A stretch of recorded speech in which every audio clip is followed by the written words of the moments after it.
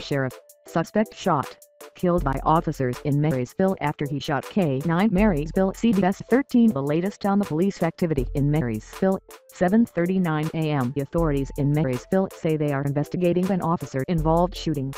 According to the Yuba County Sheriff's Department, the incident started as an attempted traffic stop in Wheatland. The suspect took off and made his way to Marysville. Officers put out spike strips and disabled the car near 6th and E Streets in downtown Marysville. Officers say the suspect was uncooperative. The sheriff's deputy then sent the K-9 into the suspect's car. The suspect then shot the K-9 in the neck, authorities say. Law enforcement officers then shot at the suspect. They then got him out of the car and tried to do CPR, but he was pronounced dead at the scene. The K-9 has been taken to a local vet for treatment.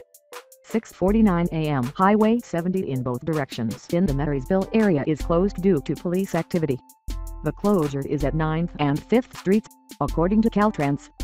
Authorities have not released any details on the reason for the police activity in the area. Caltrans says they expect the road to reopen by noon. Detours are in place through Marysville, but Caltrans says to expect heavy delays.